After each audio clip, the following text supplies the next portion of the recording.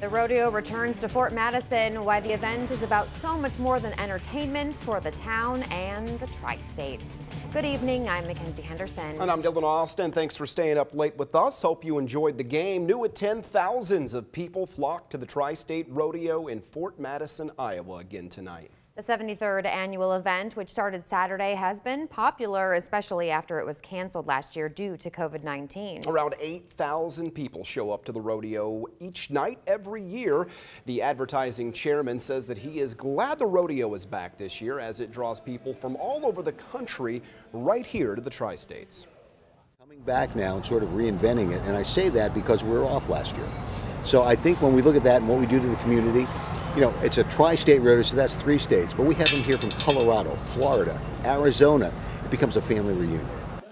And along with the traditional events like bull riding, there was a Nelly concert tonight as well. Then this weekend, there will be a golf tournament, a 5K run, a Miss and Miss Teen Rodeo Iowa coronation as well. The last day for the rodeo is on Sunday. And with the increased traffic from the rodeo, many Fort Madison businesses are booming with customers. New at 10, some businesses have seen customers from as far away as the East Coast. WGEM's Rebecca Duffy has that part of the story.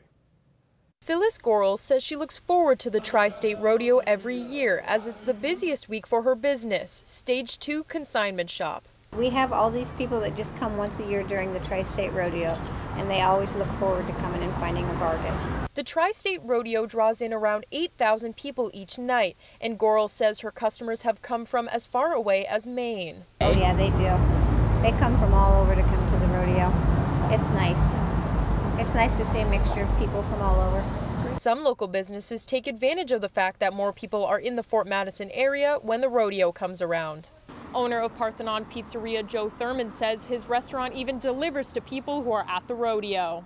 Um, but we deliver up to Rodeo Park too, so that as far as people coming into town or whatever, that doesn't really affect us so much.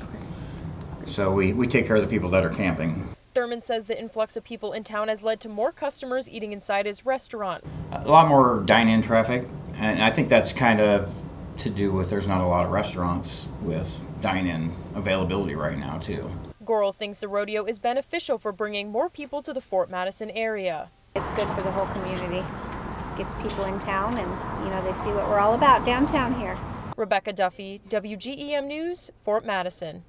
All right, Rebecca, thank you. And Goral says that she is uh, even expanding her business hours during the Tri-State Rodeo Parade this Saturday.